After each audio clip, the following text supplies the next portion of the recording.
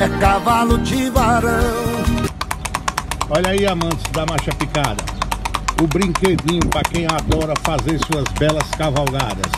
O relevo de Mairi, esse belo garanhão de marcha picada com 72 meses de idade, registrado no Mangalaga Machador, um verdadeiro cavalo de patrão.